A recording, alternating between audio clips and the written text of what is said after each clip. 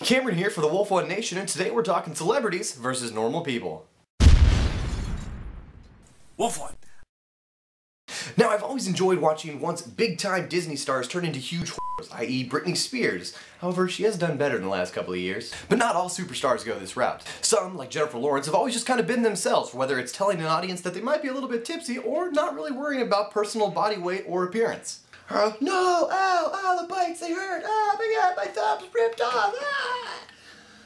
She f Another positive celebrity story is St. Louis Rams running back Terrance Ganaway. He's back in Waco, Texas during his offseason, working part-time for minimum wage at a Jimmy John's. He says he's doing it to, quote, keep me out of trouble during all the downtime in the offseason. Or there are also celebrities that uh, I didn't like at first and I still hate now. Justin Bieber, between his shitty tattoos and his constant bad attitude, to me he's just this era's Kid Rock. In my opinion, it's just really nice to see people like Jennifer Lawrence, who are normal people, becoming big stars. Whether as people like Justin Bieber, who used to be normal people, let it go to their head and they explode and do off wild and crazy things.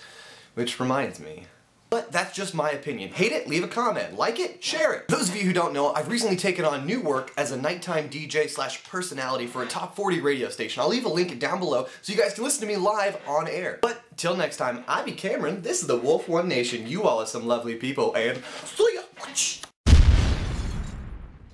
Wohlf One.